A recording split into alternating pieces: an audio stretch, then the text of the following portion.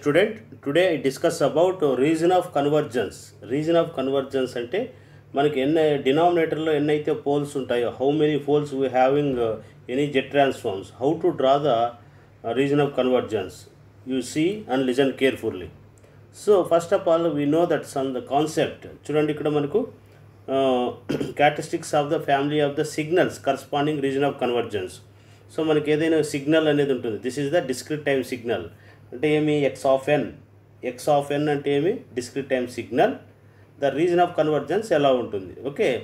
మనకి ఇది finite duration finite duration అంటే తెలుసు కదా ఇన్ఫినిటీ లోపల ఉండాలి. నాట్ ఇన్ఫినిటీ కాకూడదు అనమాట అంటే zero one two three four five six below infinity ఉంటే దాన్ని ఫినిట్ డ్యూరేషన్ అంటారు. ఒకవేళ మనకి సిగ్నల్ అనేది ఇలా ఉందనుకోండి ఒక జీరో నుంచి హయ్యెస్ట్ ఎలా ఉంది మనకు? ఆరిజిన్ దగ్గర హయ్యెస్ట్ మ్యాగ్నిట్యూడ్ ఉంది. అంటే ఓకే. ఇది వన్ దగ్గరకు వచ్చాక డిస్ డిక్రీజ్ అయింది. అలాగే టూ దగ్గర డిక్రీజ్ అయింది. డిక్రీజ్ అయితే మనకి region of convergent entire Z transform ఇలాగా ఉంటుందన్నమాట. సో ఇది రియల్ పార్ట్ ఇది ఇమాజినరీ పార్ట్ ఇలా డ్రా చేసుకుంటారు. ఓకే? అదేవిధంగా దీన్ని ఏమంటారంటే రైట్ సైడ్ జెట్ ట్రాన్స్ఫార్మ్ అంటారు రైట్ సైడ్ రైట్ సైడ్ అంటే ఏమి? ఈ ఆరిజిన్ నుంచి దీన్ని లెఫ్ట్ సైడ్ అంటారు. అదేవిధంగా ఇక్కడ జీరోకి రైట్ సైడ్ ఉన్నదాన్ని రైట్ సైడ్ జెట్ ట్రాన్స్ఫార్మ్స్ అంటారు. ఓకే?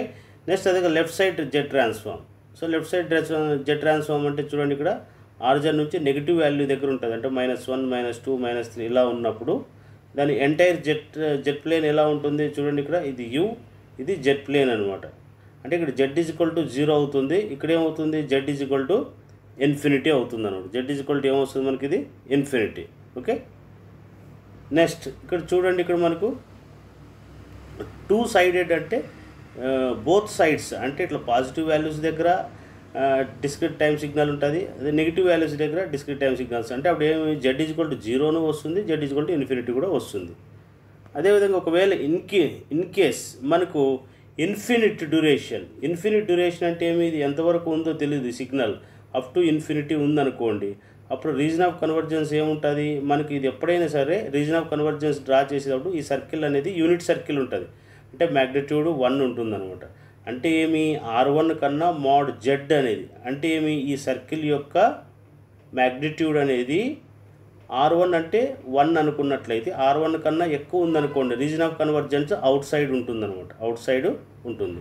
అదే లెఫ్ట్ సైడ్ అనుకో మైనస్ ఇన్ఫినిటీ సైడ్ ఉందనుకోండి అప్పుడు రీజన్ ఆఫ్ కన్వర్జెన్స్ ఏమిటి? ఇది రైట్ సైడ్ ఉంది చూడండి ఈ సిగ్నల్ ఒకవేళ లెఫ్ట్ సైడ్ ఉంటే ఈ ఇన్నర్ సర్కిల్లో వస్తుందన్నమాట. ఏమిది?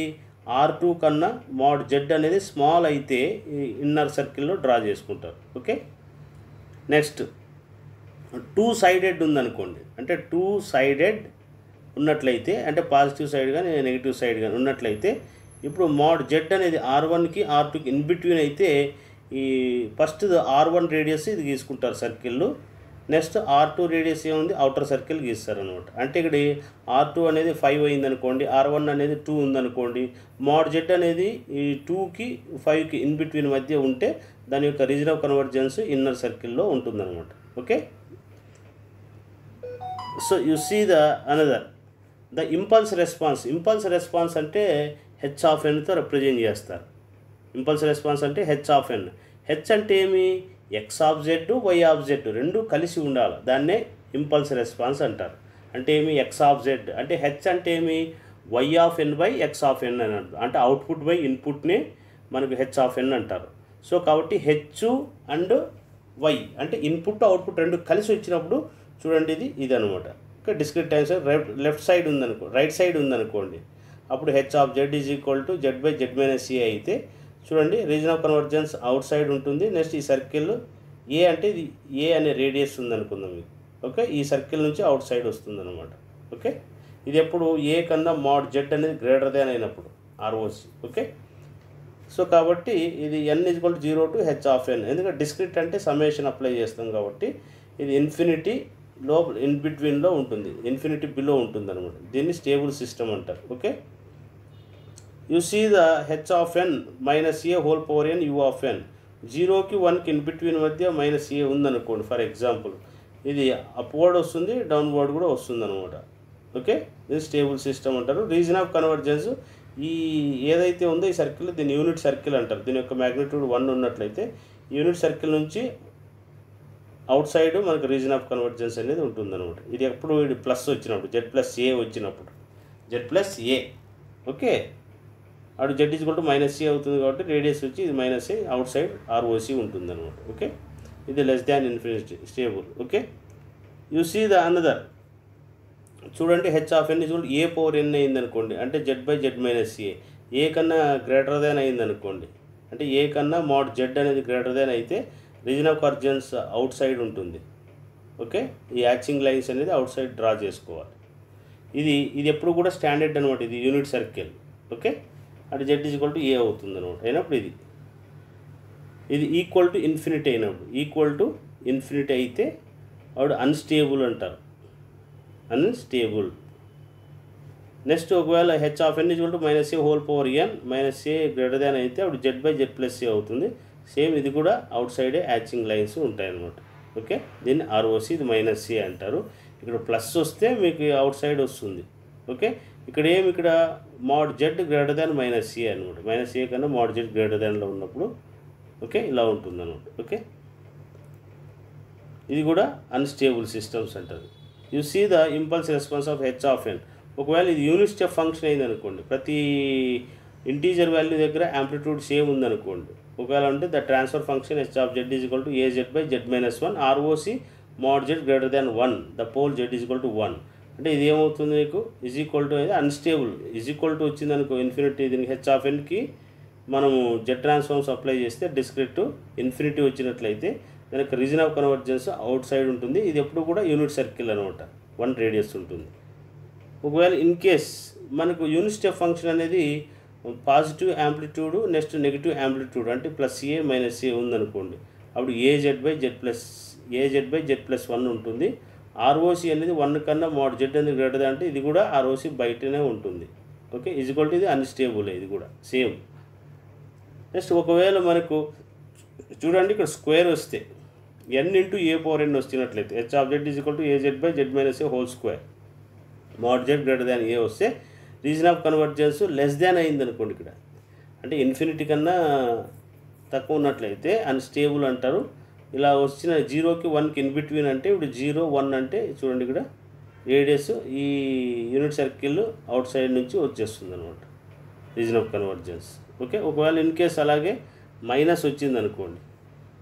ఏమి H of N is to N into minus A power N into U of N వస్తాయి అంటే జీరోకి వన్కి ఇన్ బిట్వీన్ మైనస్ వస్తే A Z by Z plus A whole square వస్తుంది. అప్పుడు ఈ అవుట్ సర్కిల్ నుంచినే ఉంటుంది ఇది కూడా. ఇది స్టేబుల్ అనమాట ఈ okay? Mod Z greater than A అవుతుంది. నెక్స్ట్ చూడండి ఇక్కడ. Impulse response of H of N H of N equal N into A power N U of N A greater than one అయింది అనుకోండి ఓకే? ఈజ్ ఈక్వల్ టు అయితే unstable అవుతుంది. A Z by Z minus A region of convergence out సైడే ఉంటుంది ఇది కూడా. అంటే ఏమి? ఏ కన్నా అంటే రేడియస్ ఉంది కదా ఈ సర్కిల్ యొక్క రేడియస్ మాడ్ జెడ్ గ్రేటర్ దాన్లో ఉన్నట్లయితే అప్పుడు రీజన్ ఆఫ్ కన్వర్జెన్స్ ఇది అవుతుంది. ఇది ఎప్పుడు కూడా యూనిట్ సర్కిల్ అనమాట. పోల్ అనేది అవుట్ సైడ్ వచ్చినట్లయితే ఈ పోల్ నుంచి అవుట్ సైడ్ మనకు రీజన్ ఆఫ్ కన్వర్జెన్స్ అనేది ఉంటుంది. ఓకే ఒకవేళ H of N is equal to N into minus A whole power N U of N minus A whole power N greater than one అయితే. Okay increase అవుతూ పోయింది అనుకో amplitude ఇట్లా increase అవుతూ పోయింది. ఇక్కడ ఇంక్రీజ్ అవుతూ పోయిందంటే ఇది ఏమి? ఎక్స్పోనెన్షియల్ కదా? అంటే ఏ పవర్ ఎన్ లాగా. ఇక్కడ ఏం దానికి జెడ్ ట్రాన్స్ఫార్మ్ అప్లై చేస్తే ఏమొస్తుంది? ఇది A Z by Z plus A whole square అవుతుంది. Z transform formula so ROC అనేది Z is equal to mod Z greater than minus A minus A ఉంటుంది. ఈ మైనస్ ఏ నుంచి అవుట్ సైడ్ యాచింగ్ చేస్తావు. దీన్ని ఆర్ఓసి అంటారు. H of N is N of U N అంటే ఇది ఏంది? స్కేలార్ ఫంక్షన్ కదా? ర్యామ్ ఫంక్షన్ అనమాట ఏమిది? లీనియర్గా ఇంక్రీజ్ అవుతా పోతుంది. అంటే ఎన్ ఇంక్రీజ్ అవుతా పోతే హెచ్ ఆఫ్ ఎన్ కూడా ఇంక్రీజ్ అయ్యింది అనుకోండి అప్పుడు Z by Z minus one so దీనికి కూడా reason of convergence outside ఉంటుంది. ఇక్కడ వన్ అనేది రిప్రజెంట్ చేసుకుంటూ హ్యాచింగ్ అనేది అవుట్ సైడ్ డ్రా చేస్తాం అనమాట okay ROC is mod Z greater than one అవుతుంది. ఇది కూడా మనకు అన్స్టేబుల్ అనమాట ఇది. ఓకే నెక్స్ట్ అదేవిధంగా చూడండి H of N is equal to N into minus one whole power N U of N mod A greater than one అయిందనుకోండి ఇది లీనియర్గా ఇది ఇంక్రీజ్ అవుతుంది ఇట్లా నెగిటివ్ సైడ్ కూడా ఇంక్రీజ్ అవుతూ వస్తుంది. అప్పుడు Z by Z plus one whole square ఉంది కాబట్టి జెడ్ ఈజ్వల్ టు ఏమొస్తుంది? మైనస్ వన్ వస్తుంది. అంటే mod Z greater than one అనమాట Z equal to minus one ఇక్కడ మైనస్ వన్ పెట్టి దాని సర్కిల్ డ్రా చేస్తావు reason of convergence outside అవుతుంది. ఇప్పుడు ఇదేమి ఇది ఈజ్వల్ ఈక్వల్ జీరో వస్తే అన్స్టేబుల్ ద సిస్టమ్ అంటారు. ఓకే అన్నీ అవుట్ సైడే ఉంటాయి. కొంచెం ఆ పోల్స్ మనం తీసుకొని రిప్రజెంట్ చేసుకోవాలి. సో ఇంపల్స్ రెస్పాన్స్ ఒకవేళ సింక్ ఫంక్షన్ అయింది అనుకోండి for example R of cos cosine function cos అయింది అనుకోండి సో దీన్ని కాస్ ఫంక్షన్ అంటారు డిస్క్రిట్ టైం సిగ్నల్ ఇది నెగిటివ్ యాంప్లిట్యూడ్ ఇది ఇది పాజిటివ్ అనమాట ఓకే? ఇలా వచ్చినప్పుడు ఏమొస్తుంది మనకి? ఫార్ములా దీనికి జెడ్ ట్రాన్స్ఫార్మ్ ఆల్రెడీగా మనకి ఫార్ములాస్లో వచ్చింది ఇది. Z into Z minus R cos omega okay? ఇది వస్తే మనకి ఏమొస్తుంది మనకు? దీని యొక్క ఫ్యాక్టర్స్ ఎలా వస్తాయంటే ఆర్ అనే రేడియస్ అనేది వస్తుంది. ఈ ఆర్ కన్నా మోడ్ జెడ్ గ్రేటర్ దాన్లో ఉంటే ఇది ఇమాజినరీ పార్ట్ రియల్ పార్ట్ రెండు వస్తాయి కాబట్టి ఈ సర్కిల్స్ నుంచి outside region of convergence draw చేస్తాం. అలాగే సిమిలర్గా ఆర్ ఒకవేళ in case R power N వచ్చింది అనుకోండి అంటే ఆర్ అనేది రేడియస్ ఇంక్రీజ్ అయింది అనుకోండి ఈ circles outside region of convergence వస్తుంది. ఓన్లీ ఆర్ వస్తే ఈ సర్కిల్స్లోనే ఉంటుంది. ఈ సర్కిల్లో నుంచి ఇగో ఈ సర్కిల్స్ నుంచి రీజన్ ఆఫ్ కన్వర్జెన్స్ డ్రా చేస్తాం. ఒకవేళ ఆర్ పవర్ ఎన్ అయితే అవుట్ సైడ్ డ్రా చేసుకుంటాం. రేడియస్ ఇంక్రీజ్ అవుతుంది కాబట్టి. ఓకే ఇది ఇలా వస్తుంది అనమాట ఓకే ఇంక్రీజ్ అయ్యే కొద్ది. సేమ్ ఇది కూడా Z into Z minus R cos omega Z minus R cos omega J factors అవుతాయి reason of convergence outside ఉంటుంది. ఇవన్నీ టెక్నిక్స్ గుర్తుపెట్టుకోవాలి మీరు. ఓకే నెక్స్ట్ చూడండి. H of N equal to cos omega N U of N okay ఇలా positive negative positive negative ఇలా వస్తుంది అనుకోండి. హెచ్ ఆఫ్ ఎన్ దీనికి ఇన్ఫినిటీ జీరో ఎన్ ప్లేస్లో జీరో ఒకసారి వన్ ఒకసారి ఇట్లా సబ్స్టిట్యూట్ చేసుకుంటూ పోతే ఇన్ఫినిటీ వచ్చేస్తుంది అనమాట అందుకే దీన్ని అన్స్టేబుల్ సిస్టమ్ అంటారు. హెచ్ ఆఫ్ జెడ్ మనకు దీనికి factors Z minus cos omega J sine omega Z minus cos omega naught plus J sine omega వస్తే సో ఇది కూడా అంతే. స్టేబుల్ అయితే మనకి outside reason of convergence అనేది వస్తుంది అనమాట this is the conjugate of region of convergence okay so this topic is over thank you ఇది రీజన్ ఆఫ్ కన్వర్జెన్స్ వీటిని బట్టి మనం ఆ టెక్నిక్స్ గుర్తుపెట్టుకోవాలి రీజన్ ఆఫ్ కన్వర్జెన్స్ అంటే ఒక ఫోర్ ఫిగర్స్ డ్రా చేసి మీకు ఎక్స్ప్లెయిన్ చేస్తే సరిపోతుంది అనమాట thank you hello my dear student you see the region of convergence region of convergence means ROC region of convergence rotational function of Z rotational function of Z అంటే మనకు కింద డినామినేటర్లో Z factors ఏవైతే ఉంటాయో వాటిని ఏం చేస్తామంటే పోల్స్గా తీసుకున్నప్పుడు ఏమి దీని అంతా సింప్లిఫై చేస్తే ఇలా వచ్చింది అనుకుందాం. ఎల్సిఎం కనుక్కుంటే ఇలా వచ్చింది అనుకుందాం. అప్పుడు పోల్స్ ఏమవుతాయి నీకు? P one is equal to R one P two is equal to R two P three is equal to R three అనుకుందాం. ఓకే? సో ఇక్కడ ఏమి? R one less than R two less than R three అనుకుంటే ఇక్కడ R one R two R three అంటే are three కన్నా are two small దీనికన్నా ఇది small కాబట్టి ఆర్ఓసి డయాగ్రామ్ డ్రా చేయాలి. ఏం చేయాలి ఇక్కడ? ఆర్ఓసి ఆర్ఓసి అంటే first of all you draw this ఇది గీసుకుంటాం. ఫస్ట్ ఏం చేస్తాం మనం? ఆర్ త్రీ అంటే అవుటర్ సర్కిల్ అనమాట so this is the R three okay next another circle ఏం మనకు? చూడండి. Next R two okay? ఇది R three next R one this is the R one this is the R one ఇదేమిది? Are two ఇది R three this is the ROC ROC diagram ఏది ఇది jet plane ఏమిది? Jet plane అనమాట ఈ విధంగా గీసుకోవాలన్నమాట. Okay? So ఇది in between మధ్య ఏరియా అనమాట ఈ ఏరియా ఫైండ్ అవుట్ చేయడము ఈ ఏరియా ఫైండ్ అవుట్ చేయడము. ఇలాంటివన్నీ కూడా మనము డ్రా చేసుకుంటాం అనమాట okay? This is the ROC diagram ఓకేనా? సో కాబట్టి మనకి ఇలాంటివి ఫర్ ఎగ్జాంపుల్గా మనకి ఈ విధంగా వచ్చింది అనుకుందాం. For example another example X of Z Z by Z minus two Z minus three Z minus four వచ్చింది అనుకోండి. ఏం చేస్తారు మనకు ఆర్ఓసి అంటే? Four three two. కాబట్టి మనం ఏం చేస్తాం ఫస్ట్?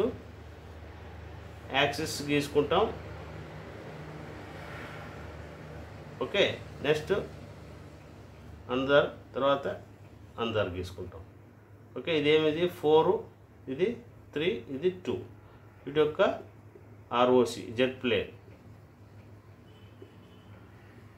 ఇలా ఫ్యాక్టర్స్ని బట్టి మనం ఆర్ఓసి అనేది డ్రా చేస్తాం. ఓకే సో ఇలా ఉన్నప్పుడు ఈ సర్కిల్ ఇలా రొటేట్ అవుతున్నప్పుడు మనకు సిగ్నల్స్ ఏ విధంగా ఉంటాయి? ఇదంతా కలిపి డిస్క్రిట్ కదా? ఎన్ అనేది వస్తుంది కాబట్టి దీన్ని ఏమంటారు? డిస్క్రిట్ అంటారు. అవి ఎలా ఉంటాయి? వాటి యొక్క వేరియేషన్స్ ఎలా ఉంటాయి అనేది మీకు ఎక్స్ప్లెయిన్ చేస్తాను. ఓకే